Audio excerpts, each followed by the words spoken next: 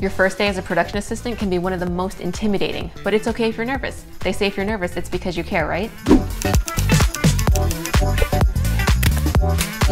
Here are some things to keep in mind throughout your first day. It's perfectly okay to tell people that it's your first day and you might need some extra help. Just don't use it as a crutch. Take initiative and be as self-sufficient as you can and do not be afraid to ask questions if you don't understand something. You'll make mistakes, but don't worry, you will not ruin the production. Make sure you're actively listening all day and try to anticipate what's needed next. Move around with urgency and intention, but don't run. Remember that safety will always come first. Be prepared with a pen and a multi-tool. They'll come in handy more than you realize. Keep a good attitude and get to know the crew.